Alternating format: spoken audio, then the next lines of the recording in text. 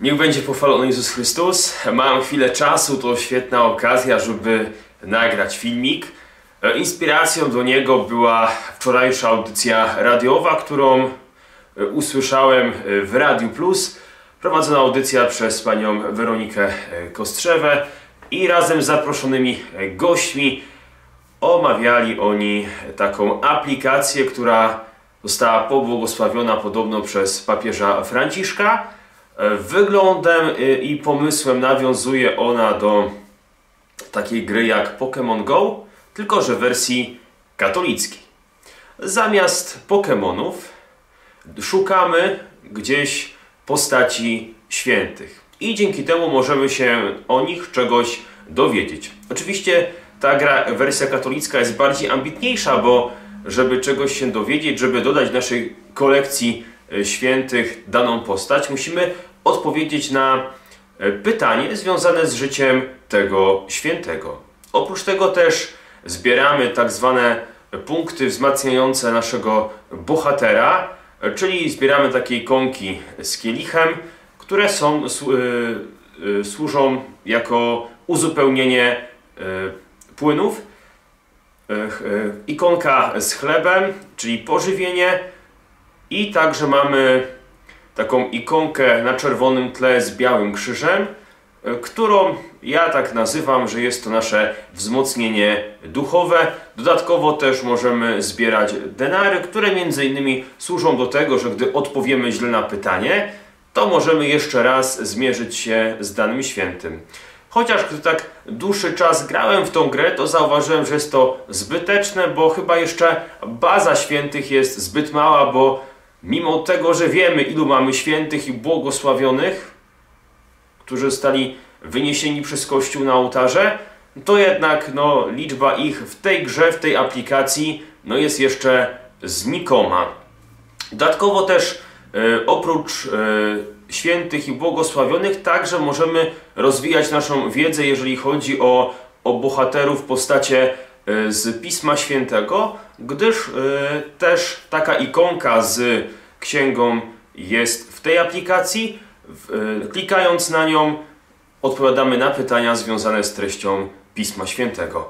To może tylko tyle wstępu. Ja zaznaczę, że jest to aplikacja w języku hiszpańskim, więc jest to dodatkowo trudniejsze zadanie. Z niecierpliwością chciałbym zobaczyć wersję polską, jak będzie wyglądać, że wtedy też i polscy święci zostaną dodani, bo jeszcze przez ten krótki czas, jak grałem, nie spotkałem tam polskich świętych. I muszę powiedzieć, że tak grając więcej niż, niż pół godziny, mm, ta gra może się troszkę znudzić.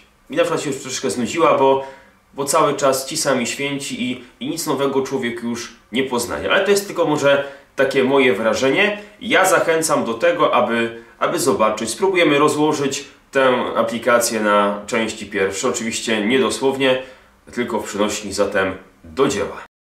Włączamy naszą aplikację i przechodzimy do rejestracji. I mamy dwa warianty. Crea una cuenta con correo electrónico, czyli za pomocą naszego maila możemy się zarejestrować, albo continuar con Facebook, czyli za pomocą Facebooka. Możemy połączyć nasze konto facebookowe z tą aplikacją. Ja użyję tego konta elektronicznego, to znaczy zrobiłem to wcześniej, ale spróbujemy jakoś przejść przez ten etap instalacyjny, żeby popatrzeć, że możemy tylko język hiszpański wybrać. I to widzimy, że innych języków niestety nie można.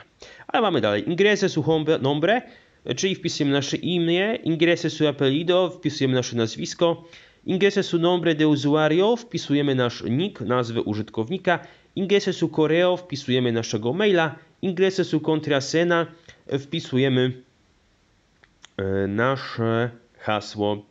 I Hello you accepto les terminos y condiciones, czyli akceptujemy regulamin i te wszystkie inne procedury i dajemy crear mi usuario. Yy, Co ciekawe, gdy pójdziemy tam dalej, tutaj nie będę przychodził, bo nie chcę dwóch kont zakładać. Gdy przejdziemy dalej, to zauważymy, że co się stanie? Tam możemy wpisać też naszą diecezję, naszą parafię. To takie może być ciekawe dla tych, którzy e, nigdy nie mieli kontaktu ze swoją parafią, albo nawet nie wiedzą, jak się nazywa. To tyle. Za chwilę widzimy się w części logowanej. Ja tego nie uczynię, żeby Wam nie pokazać mojego hasła. A maila pokażę, bo to jakby ktoś chciał się kiedyś skontaktować, to, to można na przykład przez tego maila. Po trudach rejestracji i logowania wchodzimy do naszej gry, żeby pokazać mniej więcej jak to wygląda. No to widzimy obraz z Matką Bożą. No to nam pokazuje, że tutaj na pewno będzie coś związane z wezwaniami maryjnymi. Tu w oddali widzimy e, tabliczki 10 przykazań, czyli nawiązanie do Pisma Świętego i nasze pytania o bohaterach. Jestem za daleko, dlatego e, nie jestem w stanie e, tego pytania otworzyć. Mamy także ikonkę z chlebem, czyli nasza energia, ikonka z krzyżem, czyli Espiritualidas, czyli to nasza ikonka wzrostu duchowego. Widzimy ikonka ze świętym, Czyli tutaj są pytania i bohaterowie e, święci i błogosławieni, denary, które zbieramy, które później możemy wymienić. Minimum 3 trzeba mieć, żeby mieć tą drugą szansę, jeżeli źle odpowiemy na pytanie.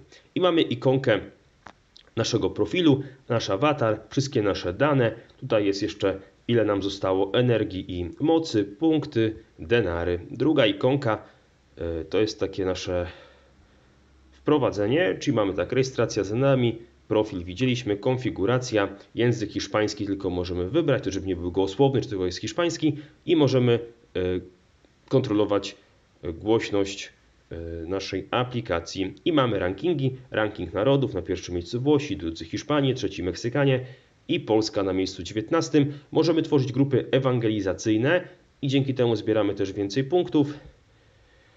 Na pierwszym miejscu widzimy United Smokers, na drugim Santo Tomas.